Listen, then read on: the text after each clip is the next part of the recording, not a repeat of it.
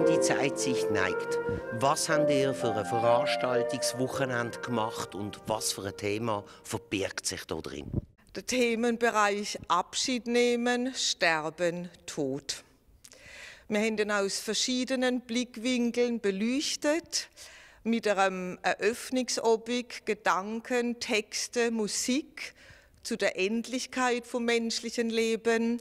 Es hat einen letzte Hilfekurs gegeben, einen Filmabend zum Thema und der Palmsonntagsgottesdienst, wo wir das Thema feierlich nochmal abgrundeten. Zwei ganz besondere Gäste kommen aus dem Deutschen, aus Essen, Anne und Nikolaus Schneider. Nikolaus Schneider ist aber in der Schweiz nicht unbekannt. Er war Ratsvorsitzender von der EKD, der Evangelischen Kirche in Deutschland. Ich habe das Ehepaar Schneider kennengelernt bei einer Erwachsenenbildungsveranstaltung vor vielen Jahren in Basel zum Thema Sterbehilfe. Die beiden sind sehr abschiedserfahren durch eigene Krankheitserfahrungen, aber auch durch den Tod von ihrer jüngsten Tochter im blühenden Alter von nur 22 Jahren. Frau Schneider, was möchten Sie den Menschen mitgeben an diesem Abend? Hm. Dass sie getrost leben und hoffnungsvoll sterben können, auch angesichts des Todes in seinen vielfältigen Variationen und Gesichtern. Was sind denn hauptsächlich Probleme, wo kommen? Sind es vor allem Ängste, wo man hat? Mit, mit was müssen Sie umgehen?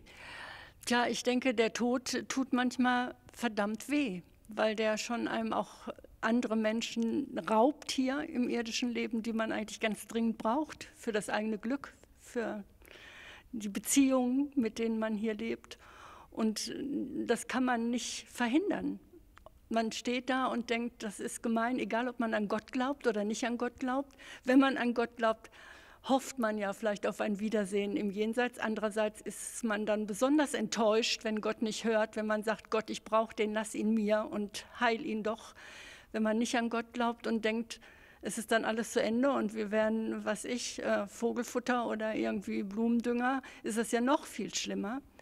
Und angesichts dessen nicht die Augen zuzumachen und trotzdem hoffnungsvoll zu leben und zu sterben, das ist verdammt schwer. Und das, denke ich, dem müssen wir Menschen uns stellen.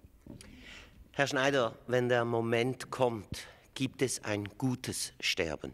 Es gibt ein gutes Sterben. Und es gibt ein gutes Sterben, das ein gutes Leben zu Ende bringt.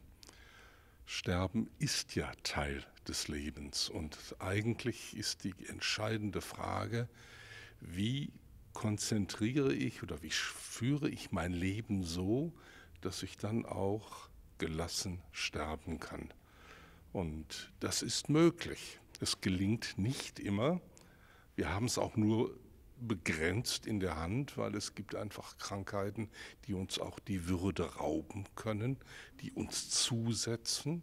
Ähm, die uns an unsere Grenzen führen. Das ist ja kein Spaziergang dann.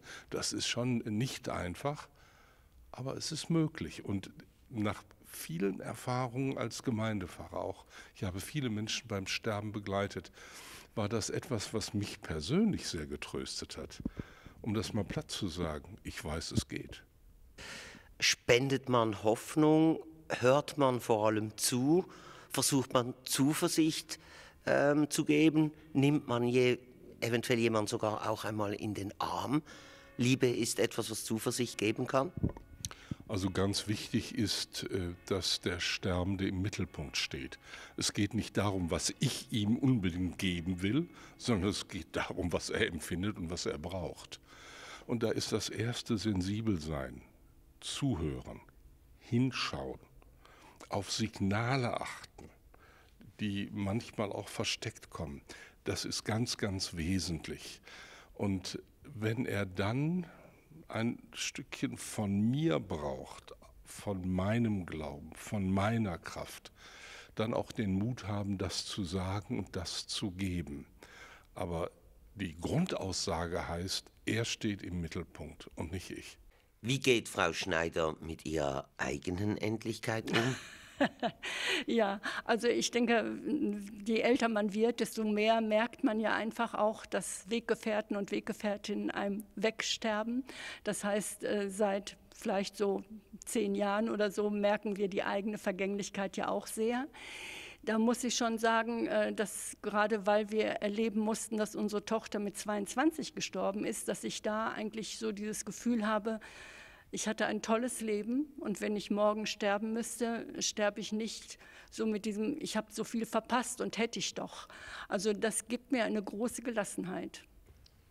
Wie stellt man sich als Betreuender diesem Thema und wie sollen sich ähm, Menschen, die davon betroffen sind, damit dieser Situation stellen?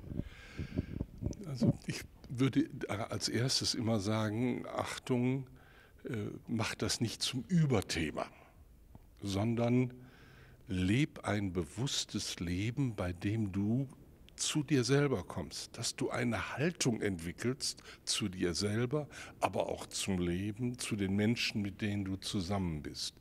Und dann wirst du immer an Punkte kommen, wo du merkst, das Leben ist begrenzt. Andere sterben. Wir sind alle Fragmente. Und dann wirst du auch im Leben schon Fragment sein und einüben, wie man mit dieser Grundbedingung des Lebens, dass es nämlich begrenzt ist, wie man mit dieser Grundbedingung leben kann, damit, wenn es darauf ankommt, wir auch eine entsprechende Haltung haben. Welchen Satz gebraucht äh, Pfarrer Schneider, wenn es darum geht, diese Hoffnung zu spenden? Der Satz heißt, du bist ein von Gott geliebtes Kind und musst nicht alles alleine schaffen, du wirst begleitet, verlass dich drauf.